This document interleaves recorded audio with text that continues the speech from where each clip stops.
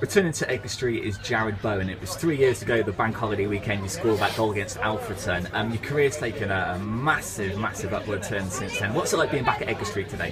Yeah, it's good, you know, seeing old faces that are still here, Beads is still here, and Jenks as well, and obviously Jolie over there, Edgy and Pert are still here. So I caught up with them before the game, and I like to come, because I'm a local lad, so I like to come back and watch as many times as I can. So thankfully for today I could come back and watch and I'm lucky not to get the win but it's always great to come back here, a great atmosphere. How's your season going at Hull City? Yeah, it's good. It's been start of the season people ask me I wouldn't have expected what's happened uh, in a short amount of time but I'm just taking it on my stride and making a better player for myself. You still in contact with any of your former Hereford United colleagues?